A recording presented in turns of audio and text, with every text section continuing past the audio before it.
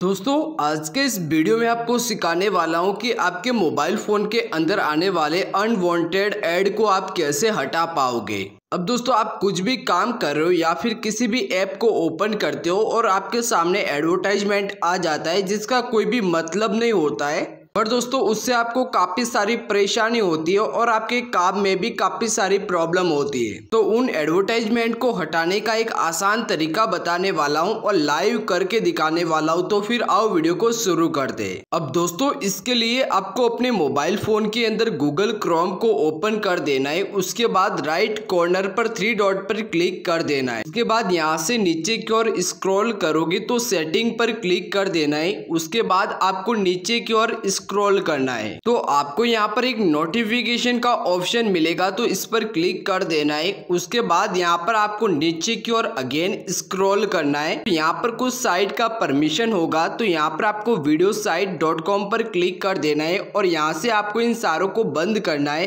again दोस्तों bag चला जाना है और इसी प्रकार से दोस्तों इन तीनों साइट को आपको अन अलाउ कर देना है यानी कि इन नोटिफिकेशन अलाउ को बंद कर देना है उसके बाद दोस्तों आपको ऊपर आना आना है और आपको ऑल नोटिफिकेशन को बंद कर देना है अब दोस्तों आप ट्राई कर पाओगे कि आपके मोबाइल फ़ोन के अंदर एडवर्टाइजमेंट काफ़ी हद तक कम आएंगे